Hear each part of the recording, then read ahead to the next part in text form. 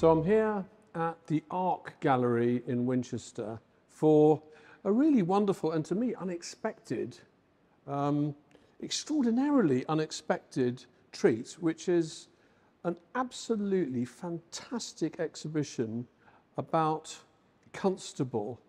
John Constable is one of my favourite painters, one of the painters whom I feel is most deeply misunderstood, but not here. Because here uh, at the Arc, as I say, in Winchester, they've put together a show with the help of the V&A in particular, but also the Tate. Um, they've borrowed some fantastic things to create this small, highly focused exploration of the artist as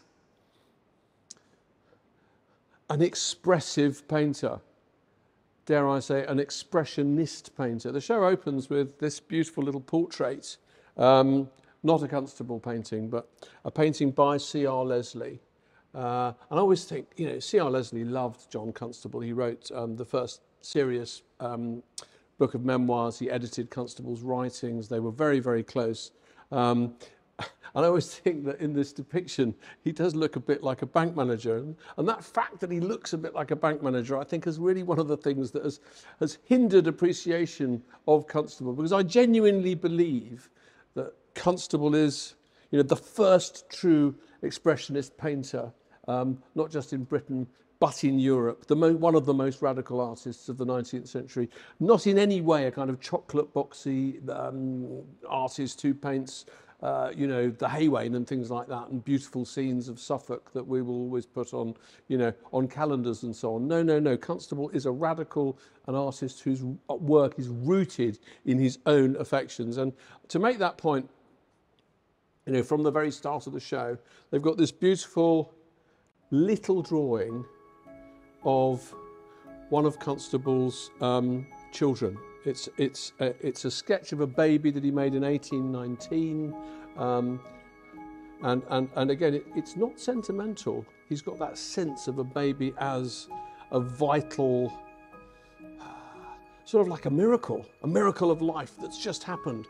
There is this baby. And to Constable and his wife Maria, it's all the more of a miracle because their union had been so blocked.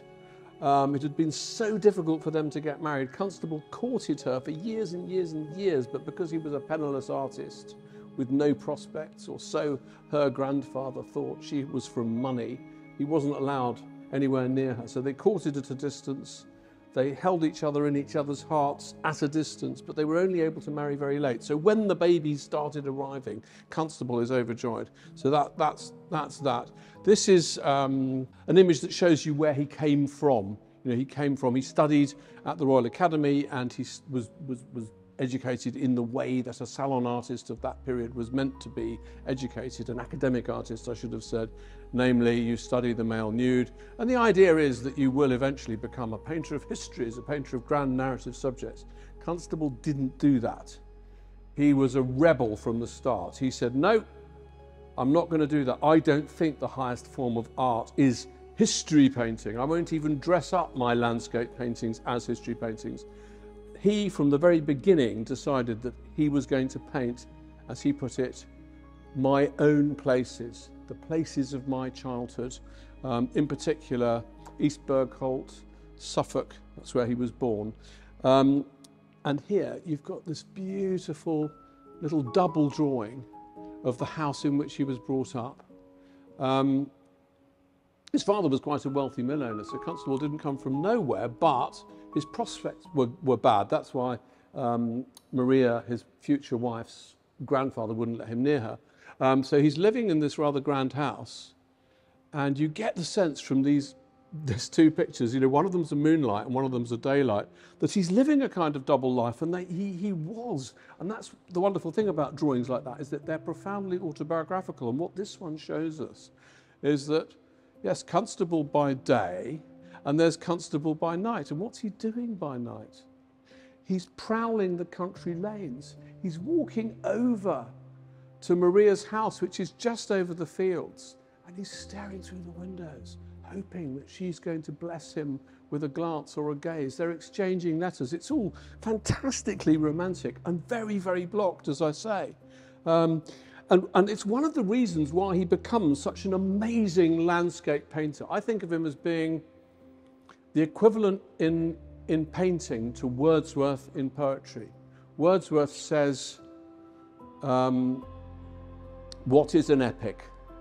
In the days of Milton, an epic was a, was a poem that told the story of paradise lost. You know, a great, great biblical subject, grand, vast, huge, cosmic. And, and, and Wordsworth changes that and he says, No, I'm going to write a poem, an epic poem that's going to be about myself as a child. And it's going to be about my for, the formation of my mind through my experience of landscape. That's what the prelude is. And that's exactly what Constable's early paintings and drawings are. And in fact, his whole career as an artist, it's exactly what all of it is. It's a reflection on his own personal growth, his own development, his own psychology, his own loves, disappointments, hopes, and fears, all as expressed through landscape. So he's not just a painter of landscape, he's a painter of his own feelings before landscape, if that makes sense. Just as Wordsworth is a poet of his own feelings. And that's what makes Constable so essentially radical.